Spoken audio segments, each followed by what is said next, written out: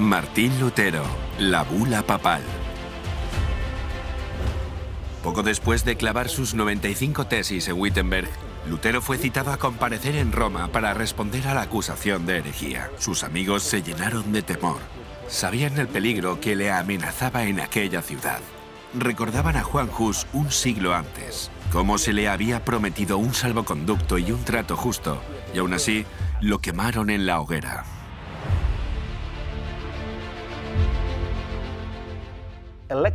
El elector Federico de Sajonia, uno de los siete principales alemanes, exigió que el juicio se celebrara dentro de su territorio.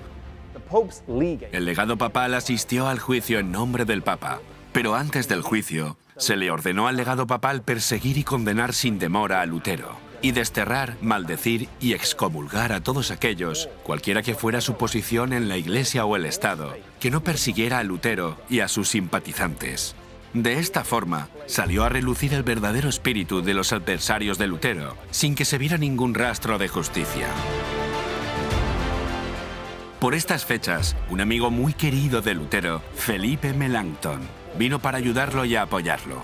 Era más joven que Lutero y un erudito muy bien formado. Su cuidado, gentileza y exactitud complementaba la valentía y energía de Lutero. Se decide que se celebre el juicio en Augsburgo. Muchos amigos de Lutero le aconsejaron que no fuera, porque temían por su vida. Pero él estaba resuelto en ir a Augsburgo. Por entonces, no gozaba de la garantía de un salvoconducto, y sus enemigos esperaban que viniera sin él. Pero Lutero se negó a ello.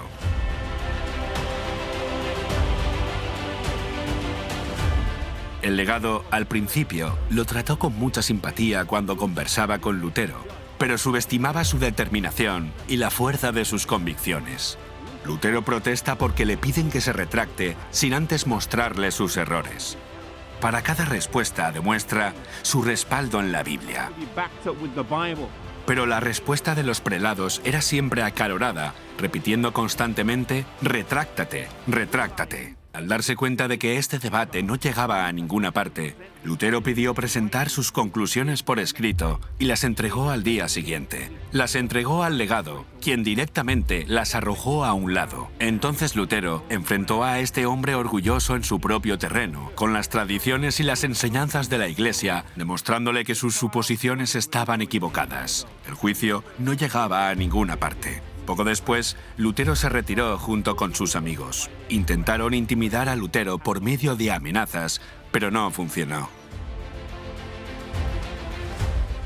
Los escritos y las enseñanzas de Lutero se esparcieron por Alemania como fuego salvaje.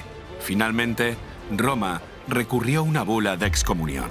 Lutero fue condenado junto con sus seguidores.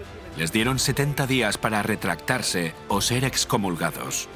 Normalmente esto llenaría de temor a cualquiera, pero no a Lutero. Se reunieron en torno a él un grupo de doctores, alumnos y ciudadanos de Wittenberg, y bajo un árbol en este mismo lugar, quemó públicamente la bula papal de excomunión y las leyes canónicas. Roma mandó otra bula de excomunión en su contra, declarando su separación final de Roma, en la que decía que era maldecido por el cielo y condenaba a cualquiera que aceptara alguna de sus doctrinas. Verdaderamente podríamos decir de Lutero, el siervo no es mayor que su Señor. Si a mí me persiguieron, también a vosotros os perseguirán.